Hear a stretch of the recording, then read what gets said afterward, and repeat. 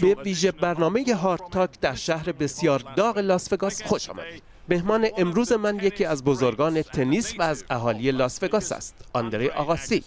اما چرا من در یک مدرسه هستم؟ خب بنیانگذار این مدرسه آندره آقاسی است که حالا به یکی از بزرگترین انسان دوستان دنیا تبدیل شده است. او حالا می‌گوید که در همه دوران تنیس بازیش که میلیون ها دلار نصیبش کرد همیشه از این ورزش بدش می آمده است. این چه معنا و مفهومی دارد؟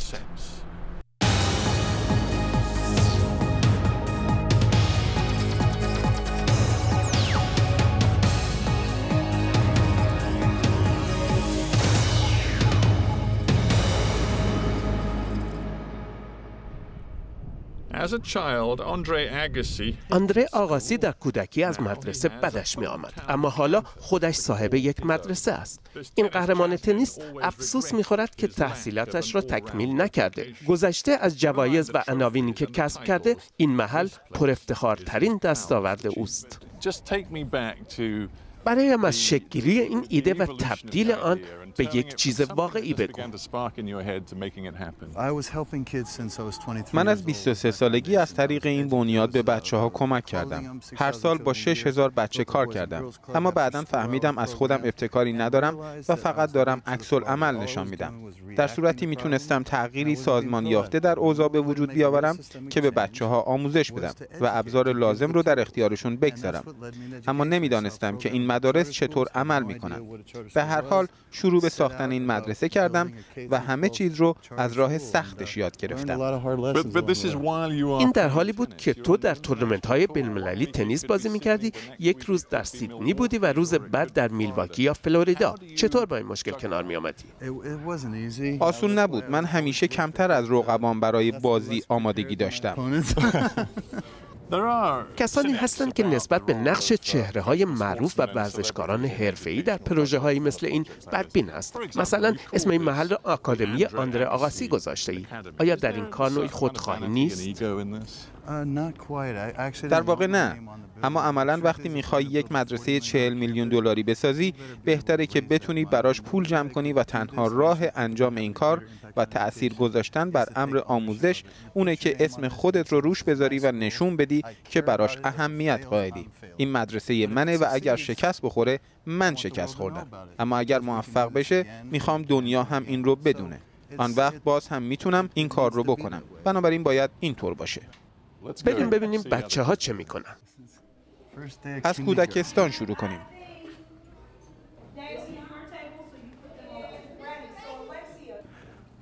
بچه ها از شما یه سوال دارم. کی می‌خواد بره دانشکده؟ خیلی خوب. دستاتون رو پایین بیارین. کیا فکر می‌کنن به دانشکده خواهند رفت؟ من می‌خوام یک نفر منو بغل کنه. فقط یه نفر.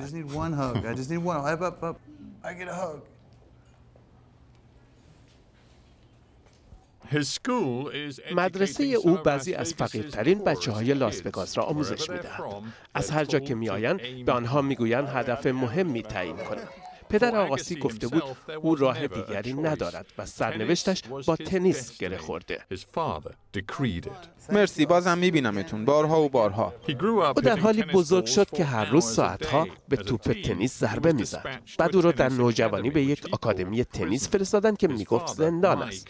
از نظر پدرش مایک تنیس گذرنامه ورود به رویای آمریکایی بود. یک شخصیت محوری که در سالهای اول برای بیشتر امور تو تصمیم می گرفت پدرت مایک بود. درباره او خیلی چیزها نوشتی و خیلی صادقانه هم نوشتی. اما این غمانگیز است که رابطه تو با پدرت رابطه مشکلی بود.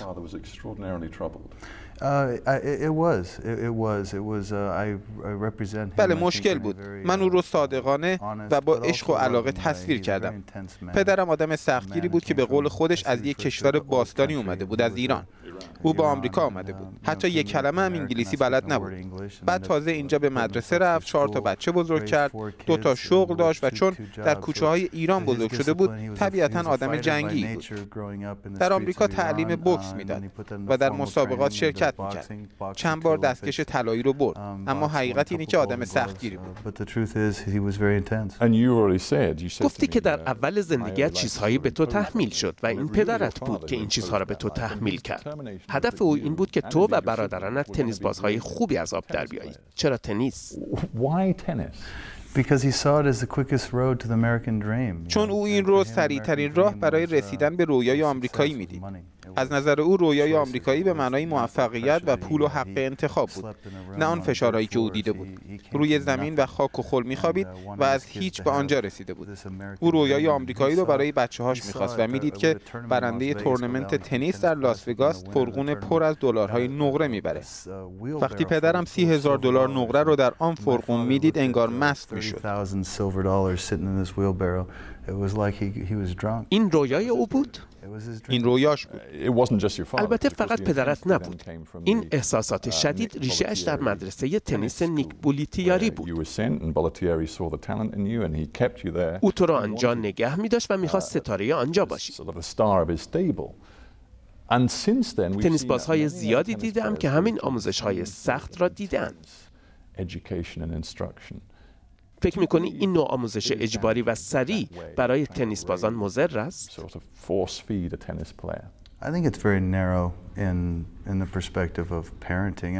فکر می کنم این یک دیدگاه تنگ نظرانه در تربیت فرزند. یکی از اولین و مهمترین تصمیمات والدین باید این باشه که ببینن موفقیت رو برای خودشون و بچه هاشون چطور تعریف می‌کنن. وقتی موفقیت رو پول و جایزه بدونید این اولین تصمیم از یک رشته تصمیم های بده تصمیم به فرستادن بچه به جای دوردست و از دست دادن مهمترین سالهای رشد او رشد تو خیلی طول کشید؟ من هنوزم دارم رشد میکنم آیا به نقطه رسیده ای که بتوانی بگویی واقعا کی هستی؟ بتوانی بگویی من آندره آقاسی بالغ هستم؟ هیچ وقت چنین حرفی نمی‌زنم. نه. نوشتن این کتاب سه سال طول کشید و وقتی تمام شد فکر کردم که اگه قرار باشه دوباره کتابی بنویسم کمی متفاوت خواهد بود. چون حتی در این مدت هم چیز یاد گرفتم. این طبیعت منه که چیزها رو به صورت یک روند ببینم. تنیس برای من اینطور وسیله‌ای برای کشف خودم. این طبیعت منه و هیچ وقت از جایی که به اون رسیدم راضی نیستم. تو درباره خانواده و احساساتت خیلی صادقانه حرف می‌زنی. در مورد سختترین چیزها در حرفت و مصرف داروهای غیرقانونی هم صادق بوده ای. همین اظهار نظرها و انتقادات خیلی زیادی در پی داشته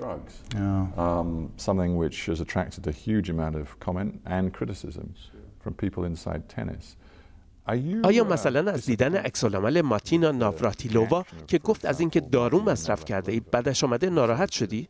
او گفت تو باید از شرکت در مسابقات محروم می شدی. گفت تو در زمانی دیگران را شکست دادی که باید محروم می شدی. خیلی سخت برخورد کرد. Well, no question. I was, well, my first disappointment is that I ever took در این مورد بحثی نیست. من از این ناراحتم که اصلا چرا دارو مصرف کردم و چرا کارم به اونجا کشید؟ اما وقتی خوب فکر می‌کنم می‌پرسم که آیا واقعا کتاب را خانده ای؟ واقعا متوجه شده ای که آن مواد نیروزا نبود بلکه تفریحی و مخرب بود؟ کریستال مت بود که یک نام فنی دیگه هم داره. من اون موقع جایزه ای نبردم. جریمه ای بازی کردن در صورت مصرف دارو سه ماه تعلیقه. اما در اون زمان اصلا تنیس بازی نمی کردم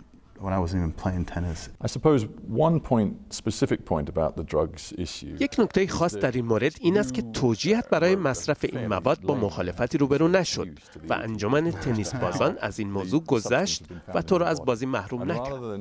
البته 13 سال پیش بود. شاید به این دلیل که تو با آنکه در وضع خوبی نبودی در تنیس صاحب نام بودی. بزرگتر از آن بودی که آنها بتوانند تو را به زیر بکشند. فکر می کنیم ما که خارج از گوت هستیم می توانیم بگوییم که آن فلسفه هنوز وجود دارد؟ شاید آنها نمی‌خواهند اسم ستاره ها به عنوان مصرف کننده دارو مطرح شود.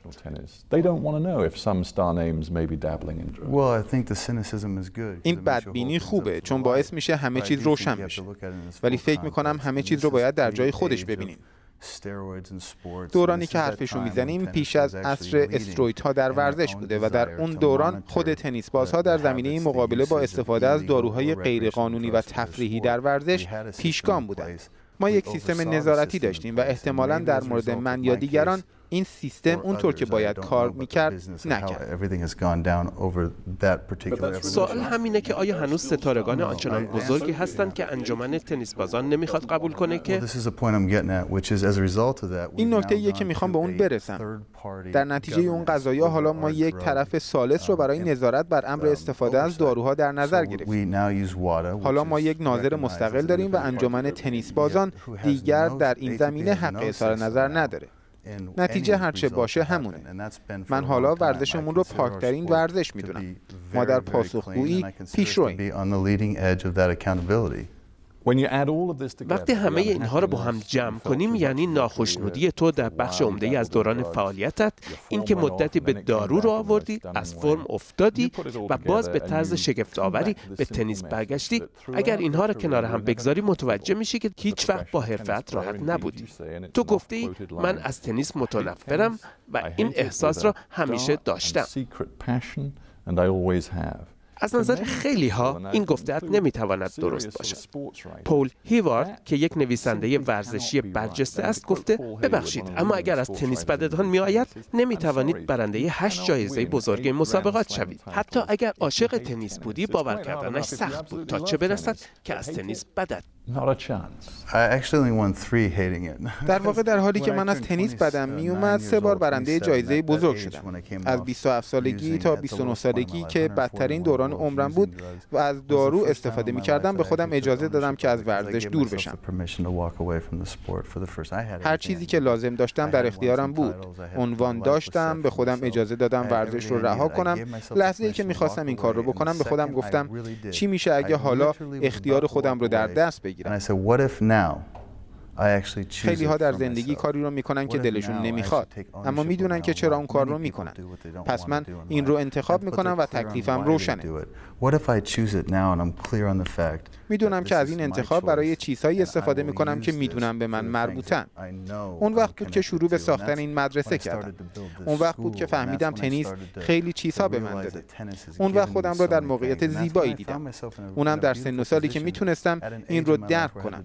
بعد از آن هم پنج جایزه بزرگ دیگه بردم. اواخر دهه 80 و دهه 90 میلادی دوران رقابت بزرگ آقاسی سامپراس بود حالا رقابت بزرگ میان فدرر و نادال است. بازی های اوپن آمریکا بازی ستاره هاست. می‌خواهم نظرت را بدانم. فدرر چند جایزه بزرگ برده. بازیکن بزرگی است. و به نظر می آید که حالا همه چشم به نادال دوختند می شود گفت که نادال اگر بهتر از فدرر نباشد به خوبی اوست فکر کنم برای اینکه آدم قضاوت درستی در این باره داشته باشه باید در اوپن آمریکا باشه. اما اگه نادال برنده اوپن آمریکا بشه باید ببینیم داریم درباره کی حرف می‌زنیم. درباره کسی به نام نادال حرف می‌زنیم که همه جوایز بزرگ رو برده مدال طلا برده چند کاپ دیویس برده و در بهترین ایام راجر فدرر همیشه نسبت به او برتری داشته. حق با شماست که اون بهترین تنیس باز همه دوران هاست.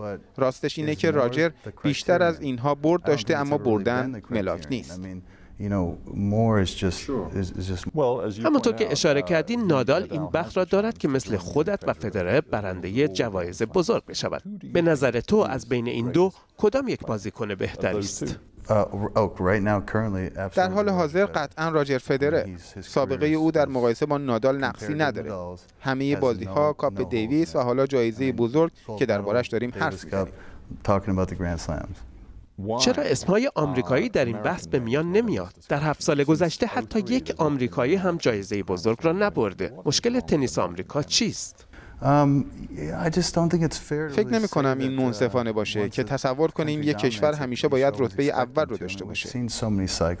چرخش های زیادی بوده و بازی ها در رقابت جهانی تکامل پیدا کرده.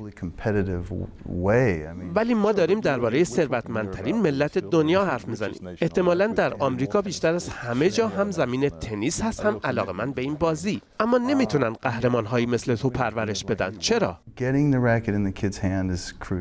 راکت به دست بچه ها دادن خیلی مهمه. باید بدونیم که این کار رو از اول چطور باید شروع کرد. در این مورد بحثی نیست. ما زمین های سرپوشیده زیادی داریم. اینا رو دست کم نگیریم. درباره انگلیس هم همینو میگم. شما تعداد زیادی بازی داخل سالن دارید. امروزه بازی ها کنتر و توپا سنگین تر شدن حتی در ویمبلدون بازی ها بیشتر شبیه بازی داخل سالونه نوع بازی که ما یاد می‌گیریم با آنچه که در گذشته آموختیم شباهتی نداره دیگه نمیشه همینطوری وارد شد و خیلی کوتاه. در انگلستان آیا اندی ماری را در حد یک بازیکن بزرگ می‌بینی؟ فکر می‌کنم اندی ماری می‌تونه یکی از بزرگان باشه. اون می‌تونه. باید به من ثابت کنید که نمی‌تونه. با اون روحیه ورزشکاری و مهارتی که او به میدون میاره صد درصد موفق خواهد شد. طوری حرف می‌زنی که انگار هنوز تنیس بازی می‌کنی. اگر به بحثی که از اول داشتیم برگردیم باید بگویم که رابطت با ورزش مدتها مبهم و دو پهلو بوده. چرا هنوز با تنیس درگیری؟ چرا هنوز در بازی های اکزیبیشن شرکت می‌کنی اولا تنیس در زندگی من وسیله بوده که این مدرسه رو به من داده زنم رو به من داده. درکم از خودم رو به من داده. برام خیلی هزینه داشته و خیلی از زندگیم رو براش دادم ولی در این حال تنیس هم خیلی چیزا به من داده توانایی بزرگ کردن بچه ها و تماشای رشدشون خیلی چیزا هست که باید به خاطرشون ممنون باشم و دلت می‌خواد اونها تنیس بازی کنن؟ نه نه لزوما. اگر تنیس برای تو وسیله بوده و اینقدر براش ارزش قائلی چرا حالا نمی‌خوای بچه‌هات رو تشویق کنی که تنیس بازی کنند؟ نگفتم تشویق نمی‌کنم. همونطور که دخترم دو بار در هفته بازی می‌کنه تشویقشون می‌کنم. اگر تنیس دخترت خوب باشه و استعداد حرفه‌ای شدن داشته باشه اون وقت چی؟ نفس عمیقی می‌کشم و سعی می‌کنم در این وسیله و در این ماشین بمونم چون که راه رو می‌شناسم. موانع رو می‌شناسم. بزرگترین عامل معیوس کننده از نظر من تنیس نیست. مشکل اینه که وقتی راه رو خیلی خوب بشناسی اون وقت به عنوان پدر مرتب نگران میشه که بعدش چی میشه. باید چیزهایی رو همراه او تجربه کنی و این برای من همون لذت پدر بودنه. آیا همسرت استفی گراف او هم همین احساس را داره؟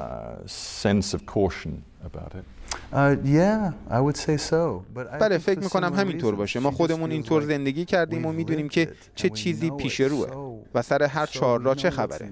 آسون نیست که آدم ببینه بچه‌هاش همین چیزها رو تجربه کنن.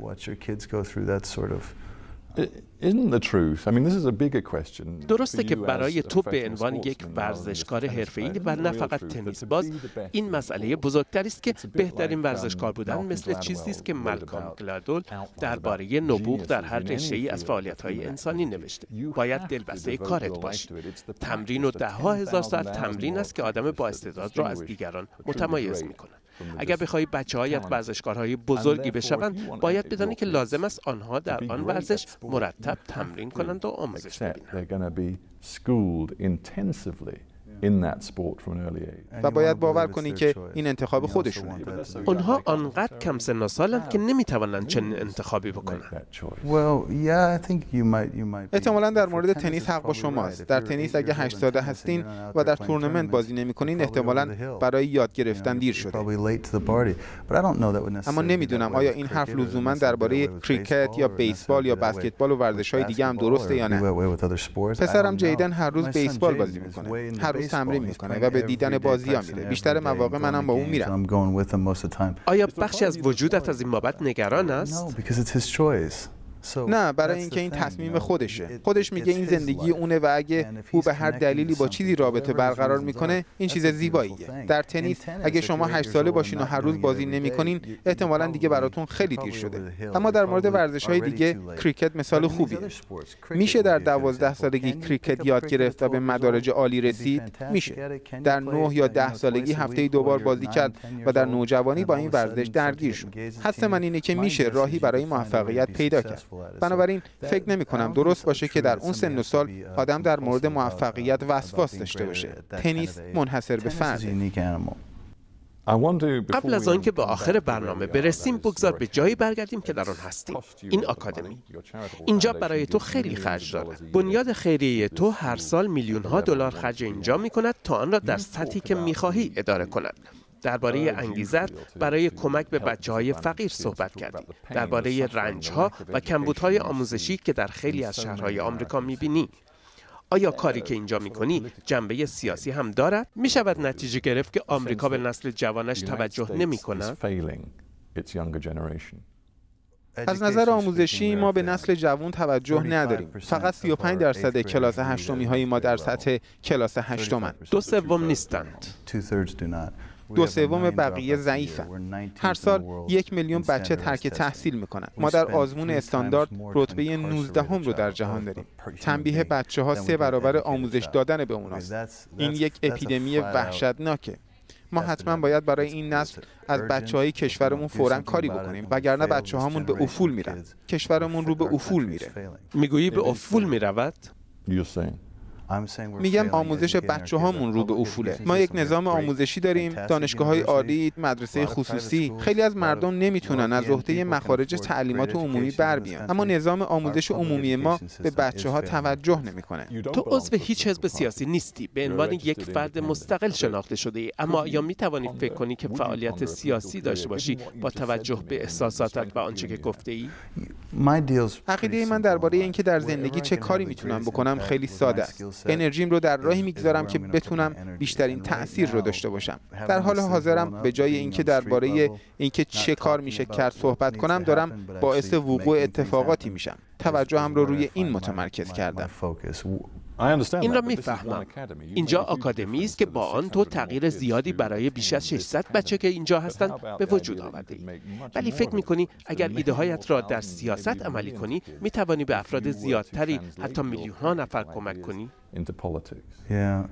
اگه سیاست بتونه این کار رو بکنه باید بهش توجه کرد. اما من قانع نشدم که می‌تونم از سیاست به عنوان وسیله استفاده کنم. دارم روی راه های دیگه برای توسعه این مدرسه در پنج تا ده سال آینده کار می‌کنم تا صدها بچه دیگر رو به اینجا بیارم. اما هنوز برای حرف زدن دربارش زوده. وقتی از ایجاد تغییر حرف می‌زنم منظورم اینه. در فکر این هستی که آکادمی آندر آقاسی را از مرز لاس وگاس و شاید از مرزهای آمریکا فراتر ببری من به صدها آکادمی از این نوع در سراسر کشور فکر می کنم لزوما هم نباید اسم من روشون باشه. فقط می‌خوام امکانات رو برای گروه های متعدد و مدارس متعدد ایجاد کنم. مدرسه های زیادی هستن که قابلیت اونو دارن که براشون امکانات تهیه بشه تا بتونن کاراشون رو گسترش بدن. این کمک بزرگی به نظام آموزشی عمومی خواهد. می‌خوام کاری کنم که در زندگی افراد نه فقط برای دو ساعت بلکه برای تمام عمر و در یک نسل تأثیر بگذاره. این کاریه که من در این مدرسه می‌کنم. این باعث میشه که تأثیر گذاشتن بر کسی در زمین تنیس به مدت سه ساعت کار چندان سختی به نظر نرسه. یا کمتر سخت به نظر برسه. اندره آقاسی خیلی متشکرم. خواهش می‌کنم.